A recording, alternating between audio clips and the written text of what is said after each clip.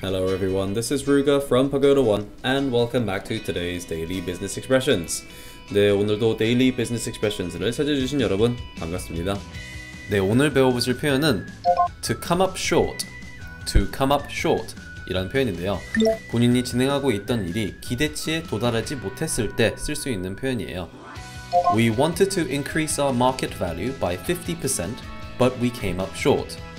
우리 회사 가치를 50% 정도 상승시키고 싶었지만 기대한 것보단 높이지 못했다.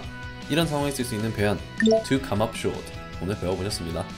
네 오늘도 장문 연습 열심히 잘 해보시고요. 내일도 새로운 표현과 함께 다시 찾아뵙도록 하겠습니다. As always, keep up the good work and I will see you tomorrow on Daily Business Expressions. Goodbye.